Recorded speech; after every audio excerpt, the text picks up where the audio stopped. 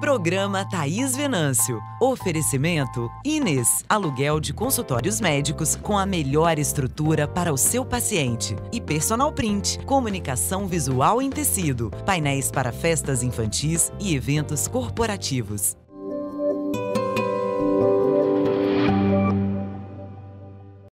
É a primeira vez que eu vou entrevistá-lo depois de 12 anos. Ele já lançou três livros técnicos e agora lança seu primeiro livro para pais e educadores. É um pai maravilhoso, pai de três filhos. E hoje eu entrevisto o meu marido, o neurologista infantil Marcelo Mais Rua.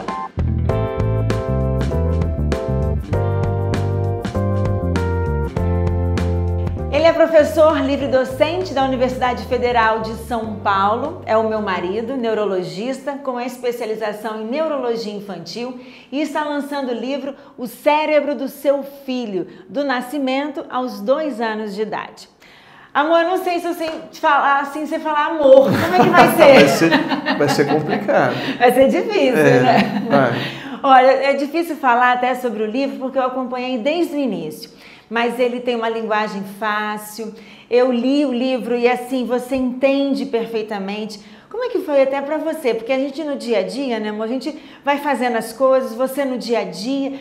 Você pensar em escrever esse livro, o que, que você pensou? É, a ideia surgiu pela, pelo que eu encontrava no consultório, quer dizer, a gente tem uma experiência de atender há muito tempo, pelo menos há 20 anos que eu faço é, neurologia infantil, e me deparo com pais com dificuldade de saber o que é o normal e o anormal no desenvolvimento das crianças.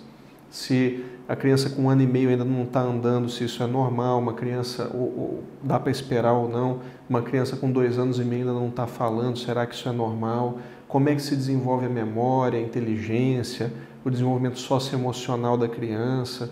É, como ensinar a criança a dormir. Hoje é uma epidemia de pais que estão com dificuldade para a criança dormir, crianças que estão atrasando muito para falar, né? E, e criança, pais que chegam com dúvida, será que meu filho tem alguma forma de autismo? Então esse livro foi escrito para esses pais, para é, tentar ajudar a dirimir essas dúvidas. Para que esses pais possam identificar, porque eu no dia a dia em casa pergunto a você, ah, isso é normal, isso acontece? Então esse pai vai ter uma ideia, uma noção de que algo está saindo daquela, daquele perímetro, daquela média, e aí vai procurar um especialista, é, isso? Em medicina tem uma, uma, uma máxima que é geralmente, na maioria das vezes, quando você identifica um problema mais precocemente, melhor é o resultado do tratamento. Isso acontece em grande parte dos problemas em medicina. E em neurologia e neurologia infantil isso também não é diferente. Quer dizer, quanto antes identificar que o desenvolvimento de uma criança não está bem, você pode tomar medidas para tentar resolver aquilo da melhor maneira possível.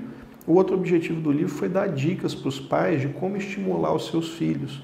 E é um período fundamental os primeiros dois anos de vida. Para se ter uma ideia, a criança triplica o tamanho do cérebro em dois anos. Em nenhum outro momento da vida de um ser humano o cérebro desenvolve tão rapidamente. É, uma ideia errada que se tem é que o cérebro nasce da criança já pronto. Isso não é verdade. As pessoas podem achar que é como se fosse um hardware, um computador vazio e que você só precisa ir botando a programação. O cérebro muda muito em termos de estrutura nos dois primeiros anos de vida. Ele muda, na realidade, até a adolescência, mas nos dois primeiros anos a mudança é muito grande.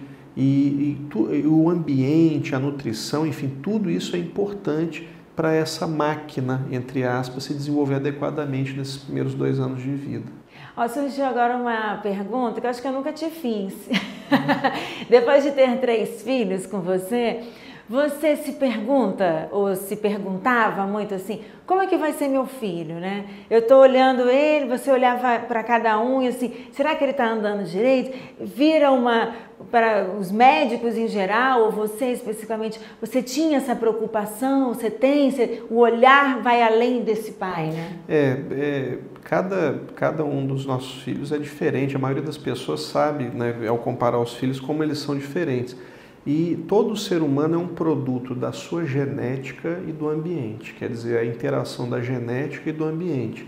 E é claro, a gente fica na expectativa, será que esse vai ter uma característica minha, da mãe? E é tão gostoso a gente reconhecer isso né, com o crescimento, até o, o sorriso, a forma de falar, a gente percebe E, e, o quanto isso é de genética, o quanto é do ambiente, ainda é muito dúvida, mas a gente sabe que é um produto da interação das duas coisas. É, e para quem não sabe, né, no nosso no livro tem os nossos filhos, tem, né, tem, em fases diferentes, né, falando sobre o que o tema, né, daquele Sim. assunto dos uhum. sentidos, daquelas descobertas e tudo mais. E quando a gente fala sobre o ambiente de casa, muita gente me pergunta também, sabendo que eu sou casada com você, que é sobre o sono, que tira o sono de muitas mães e pais, pais que não dormem. E nós fizemos, né, com orientação sua, aquele dia a dia e a programação para que eles dormissem, né? Qual é o maior erro dos pais em geral? Tem muitos erros na realidade. É, realmente é uma epidemia. Se não passa uma semana sem que eu atenda um caso novo de, uma, de pais que trazem a criança geralmente desesperados porque não aguentam mais que a criança não dorme e eles chegam aqui com olheiras que chegam quase no queixo e falam, a gente está com um problema sério que nosso filho não dorme bem. E não se sabe exatamente também por que, que esses erros estão acontecendo. Talvez porque as famílias estão cada vez em núcleos menores e mais isolados. Antigamente, as famílias, as pessoas moravam muito próximas, a avó passava esses conhecimentos para a mãe, que passava para a filha, para a neta, e, enfim, a vizinha ajudava, a prima. Hoje em dia, os núcleos estão muito separados, e às vezes as mães e os pais começam a empreender algumas atitudes assim preconcebidas e que podem realmente, alguns hábitos que podem ser ruins para essa adequação do sono. É importante dizer que é o seguinte, a imensa maioria dessas crianças, a quase totalidade que é trazida para consulta não tem uma doença, não tem um problema médico, o problema é ambiental, é comportamental. Eu vou citar aqui alguns erros. Por exemplo, o nenenzinho, é, um, dois meses de idade, vai dormir durante o dia, você tem que deixar dormir no ambiente iluminado, no ambiente da casa normal, com luz natural. Não é para escurecer o ambiente em que ele está dormindo durante o dia. Ele tem que começar a diferenciar o claro e escuro é, do ambiente. Então, na hora que escurecer, e à noite ele vai dormir no escuro. Durante o dia, se ele dormir, ele vai dormir, porque o bebê dorme muito, ele tem que dormir no claro. É para deixar o, o, os sons da casa, quer dizer, os ruídos normais durante o dia. Se a criança acordar várias vezes, à noite tem que ser silêncio absoluto. Então, isso vai fazendo com que o organismo do bebê vá sincronizando aos poucos o ritmo de 24 horas. Outro erro muito comum é ninar a criança. Ninar o bebê é gostoso, né? Toda mãe gosta. À medida que a criança começa a reconhecer o ambiente, é, perceber as pessoas, perceber os móveis. Imagina se você dormisse na sua cama e acordasse no sofá da sala, você não ia estranhar? Então ela começa a pegar no sono, uma criança, você tá, eu não estou falando de ninar um bebezinho recém-nascido, aí tudo bem, mas você pega uma criança de 3, 4 meses de idade, o pai está ninando, ela dormiu no colo do pai ou da mãe e de repente ela abre o olho no berço, ela sente medo, ela vai chorar, ela quer voltar a dormir onde ela, tava, onde ela pegou no sono. Então, à medida que a criança vai crescendo, que a idade vai passando, já com 3, 4 meses de idade, não pode ninar. Se ninar, a criança vai habituar a querer dormir naquele colo. Né? Então ela tem que pegar no sono no berço. Né? Isso a partir de 4 a 6 meses de idade que já deve ir para o berço. Assim, veja bem, é, existem estudos já mostrando que não se deve dormir na cama dos pais desde os primeiros dias de vida, porque isso aumenta o risco de morte súbita, mas dormir no quarto dos pais é aconselhável até 4, 6 meses de idade, no berço, no quarto dos pais. Após esses quatro primeiros meses, seis meses de idade, a criança já deve ir para o quarto dela, para o berço e para o quarto dela. Agora, tem uma dica também que eu falo muito com as amigas e tudo que você me ensinou, que é a rotina né? Que essa criança precisa saber que está escurecendo e que tem uma rotina que vai levar ela ao sono, do banho, do amamentar.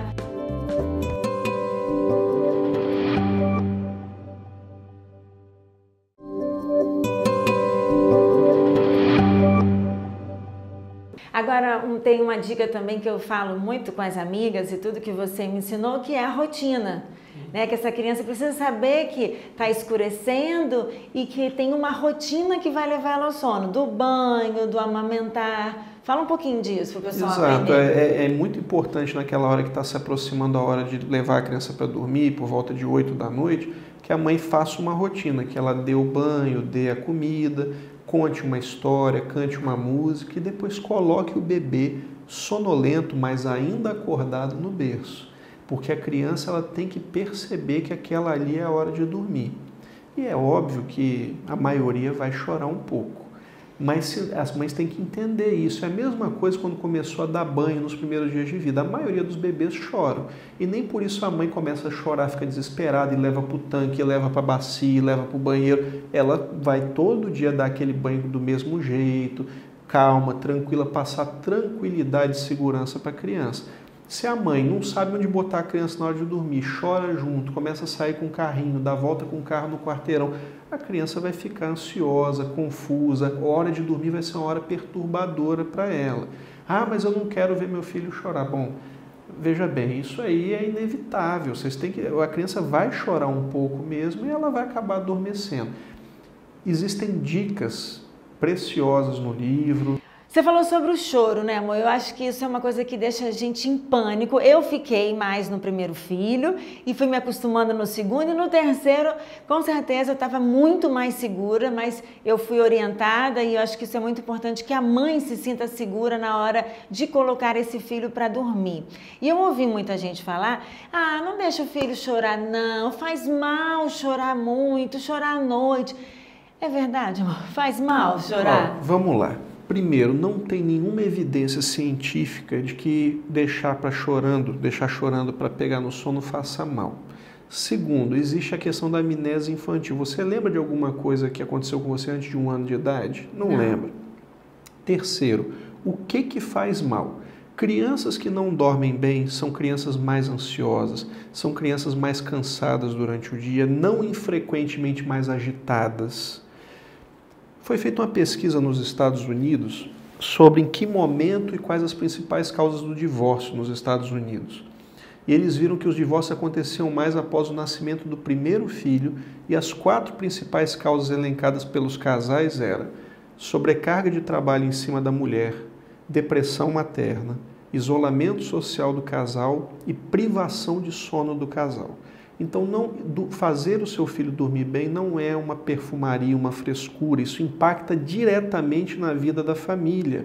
Pais que dormem bem são pais mais tranquilos, menos irritados, que vão cuidar com mais carinho da criança. Um ambiente estável, sem brigas, é um ambiente que propicia um melhor desenvolvimento emocional para a criança. Então, o sono para a criança, a gente sabe dos benefícios para o crescimento, para a fixação da memória. Então não pense que fazer dormir ali você está fazendo uma maldade, não. Você está fazendo o melhor para o seu filho. Você, ao ensiná-lo a dormir, você muito provavelmente está evitando uma série de problemas. Diminui o risco de obesidade depois infantil e na, na vida adulta. Então, enfim, são inúmeros ah, os benefícios.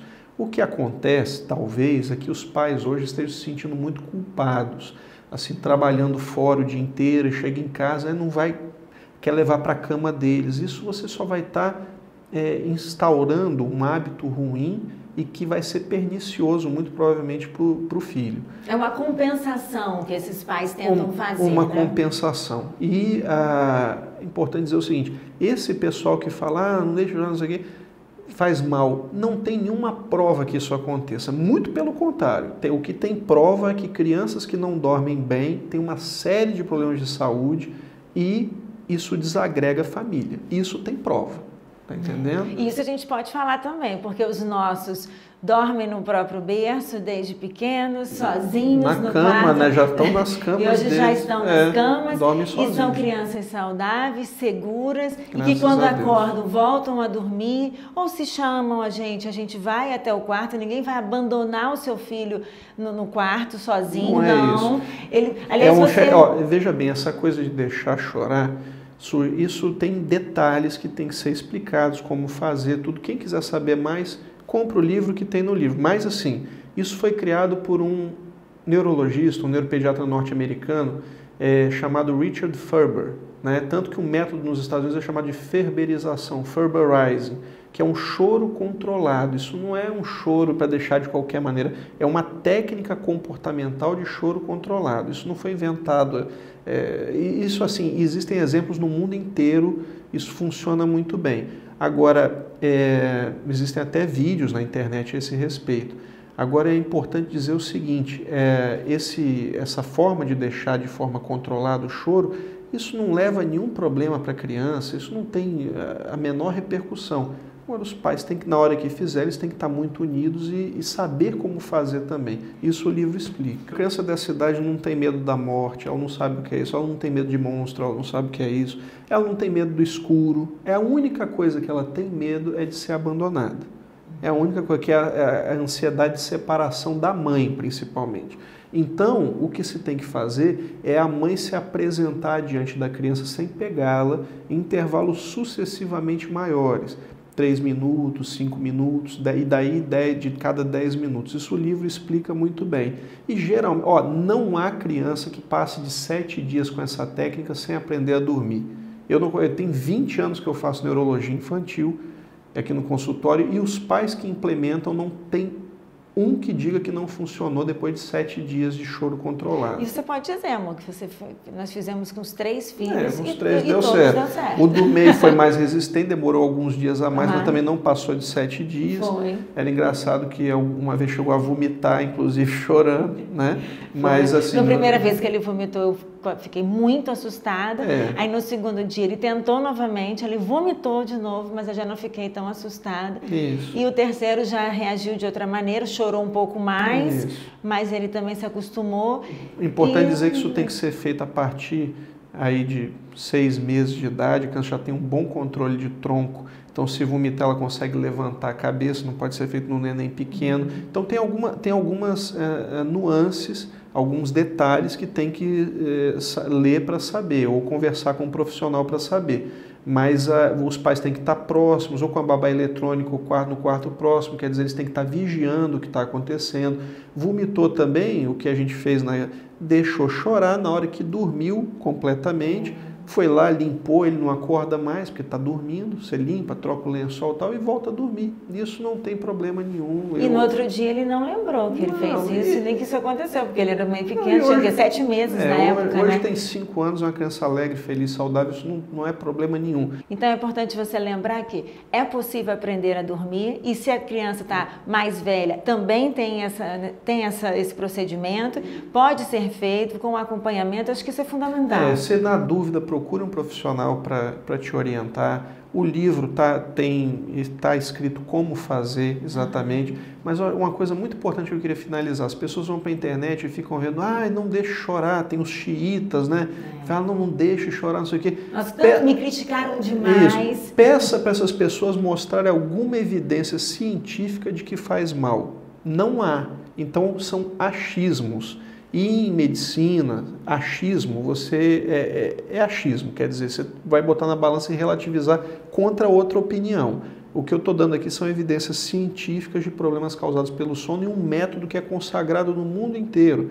É o mesmo do Nana Nenê, do Eduardo Stivil e da Silvia de Berrar, da Espanha, é do Richard Ferber, da Harvard. É o método que funciona assim, de forma garantida, que tem comprovação que funciona. E a gente em casa sabe que isso funciona mesmo porque funcionou com os nossos.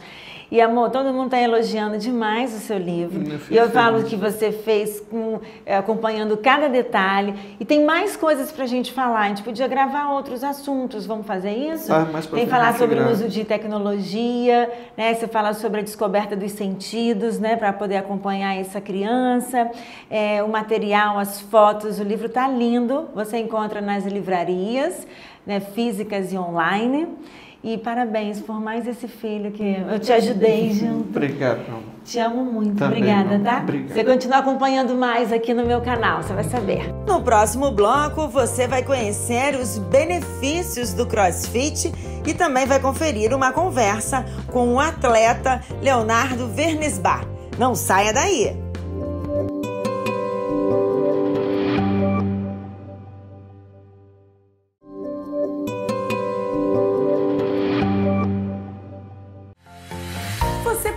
Consultório médico para alugar?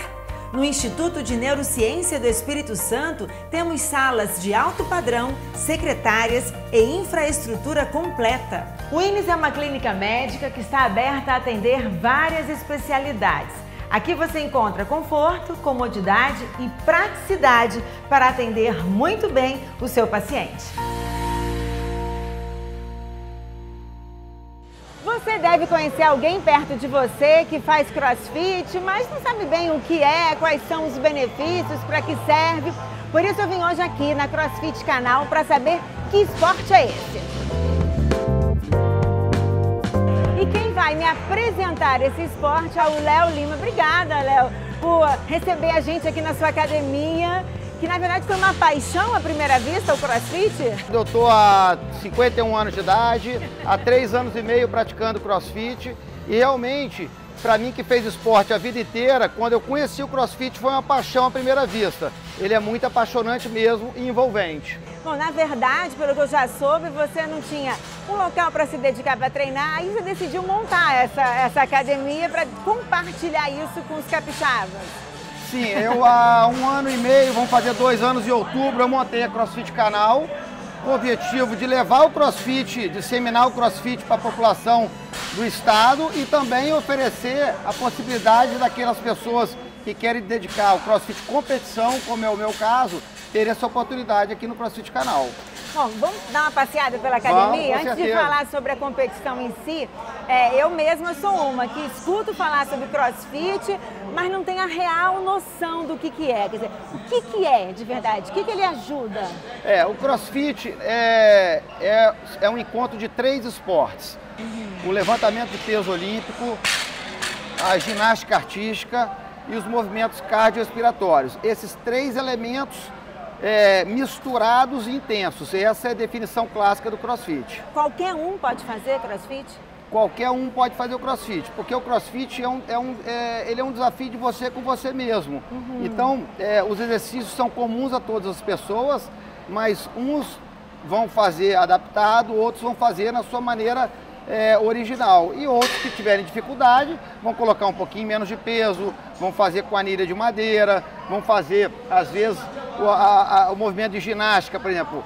Uma mulher muitas vezes não consegue fazer uma barra. Aí vai fazer com elástico adaptado, ou vai fazer com caixote. Mas todo mundo vai ter oportunidade de fazer o crossfit. Agora é interessante, eu estava assistindo aqui já o início da aula, é uma aula coletiva em que tem um coach né, que passa os exercícios, mas ele vai adaptar para cada um e essa pessoa já, ela já sabe do que ela pode fazer ou não? Como é que funciona? É o seguinte, os coaches, eles já são é, pessoas é, treinadas e, e capacitadas todas na crossfit.com, todas têm level 1, que é o que credencia tecnicamente o coach a ministrar a aula de crossfit. Uhum. A aula de crossfit é dividida em três etapas: é o aquecimento, os 15, 10, 15 minutos iniciais. Depois você tem o skill ou a técnica, que são mais 15, 20 ou 25 minutos, onde vai ensinar aqueles movimentos que a pessoa precisa fazer para exercitar o crossfit. E os 15 minutos, 20 minutos finais a gente chama de WOD, Workout of the Day, que é exatamente a criatividade, que é aquele desafio que é a, é, é cereja do bolo do CrossFit. Agora, sair de ser apenas um praticante de esporte, de todos os esportes, você é um amante dos esportes, para ser um competidor profissional. Que passo foi esse que você deu na sua vida? Esse passo, assim, eu sempre fui um esportista é, digamos assim, fanático, né? Sempre fiz todos os esportes, fiz judô desde os 4 anos de idade, depois eu fiz surfei, depois eu fiz kitesurf, sempre com musculação, com corrida, sempre muito intenso. Uhum. E aí quando eu descobri o crossfit, é, como eu falei, eu me apaixonei e há dois anos atrás eu participei da primeira competição, que não era master, uma competição onde eu competi com os garotos de 20 anos, 18 anos, 22 anos de idade. E nessa competição, eu, eu falei assim, caramba, eu tenho chance mesmo. Eu vi que eu consegui ficar, tipo, entre os 30, 40 do Brasil. É, e aí eu falei assim, pô, eu levo jeito. E a partir desse momento, aí eu comecei a investir um pouco mais na, nessa carreira esportista, né? Em 2018 você participou do CrossFit Games, que foi a etapa final nos Estados Unidos. O CrossFit Games é a maior competição de CrossFit do mundo, é considerado mundial, a Olimpíada do CrossFit. Ele ocorre uma vez por ano nos Estados Unidos. Uhum. Para você chegar lá, tem uma série de pré-requisitos, entendeu? Então, quais são esses pré-requisitos para vocês entenderem? Primeira fase é a chamada denominada Open, acontece em março São cinco semanas, são cinco provas, uma por semana durante cinco semanas. Na minha categoria Master 50 54 anos, foram 10 mil atletas do mundo. E eu tinha que ficar entre os 200 melhores. Eu fiquei em sexto, então eu consegui passar para a segunda etapa. A segunda etapa é denominada Qualifier. Ela acontece em abril e foram quatro provas e quatro dias para serem feitos. Na segunda fase, eu, eu competi com esses 200, eu tinha que ficar entre os 20. Eu fiquei em oitavo. E aí sim eu me credenciei para fazer o CrossFit Games, a final presencial nos Estados Unidos, foi em Madison esse ano. E na, no ranking geral, eu terminei a prova em 11 do mundo na minha categoria, que eu achei, eu fiquei muito contente com esse resultado, porque eu acho que é, só o fato de eu conseguir vencer essas primeiras etapas. Foram muito poucos brasileiros, Thaís, que, que chegaram a, a ir para os Estados Unidos competir. Foi a sua primeira vez que você Foi competiu, minha primeira vez. competir é. e já pretende? Todo ano tem a competição? Todo ano tem, mas é uma meta ambiciosa a gente uhum. tentar me reclassificar no ano que vem mas eu vou, eu sou uma pessoa muito dedicada e eu vou, eu vou tentar conseguir isso novamente. Quando eu passei a fazer o crossfit, o crossfit me deu realmente uma capacidade é, física muito grande, né? Uhum. A gente faz hoje aqui coisa que subir numa argola, subir na barra, é, subir corda, então são coisas que a gente faz hoje que assim, eu acho que eu com 20 anos não faria, não fazia pelo menos, né? Então o treino e dedicação fazem com que a gente consiga isso aos 51 anos de idade. Nossa, e os filhos fazem também? Os filhos fazem, às vezes fazem, agora dedico muito ao estudo, né? Que eles estão é. na fase de pré-vestibular aí, estão muito dedicados ao estudo. Mas eles sempre vêm aqui também. Obrigada, sucesso para você. A todo... Adorei, adorei conhecer o seu espaço, é maravilhoso. E agora a gente vai ver se o pessoal se anima em casa também, tá? Programa Thaís Venâncio. Oferecimento Inês. Aluguel de consultórios médicos com a melhor estrutura para o seu paciente. E Personal Print. Comunicação visual em tecido. Painéis para festas infantis e eventos corporativos.